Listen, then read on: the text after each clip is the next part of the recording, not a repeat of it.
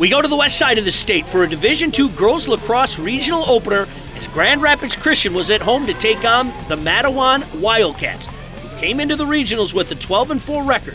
We picked things up in the first half. Grace Hazelhoff waiting patiently and then goes on in and puts it into the back of the net. Wildcats up 3 to 2.